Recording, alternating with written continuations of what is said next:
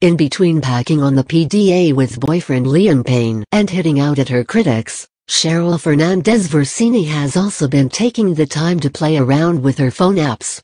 The X Factor judge and singer was showing off her playful side on Monday evening when decided to share the results of her photo editing. With just her head and brunette hair in shot, the star had made her eyes appear a bright blue color and was also wearing a halo.